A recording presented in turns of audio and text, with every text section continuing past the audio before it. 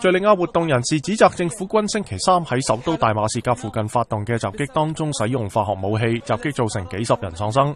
总部设喺英国嘅叙利亚人权瞭望台话，叙利亚军队向东窝塔同西窝塔几处地点发射火箭弹。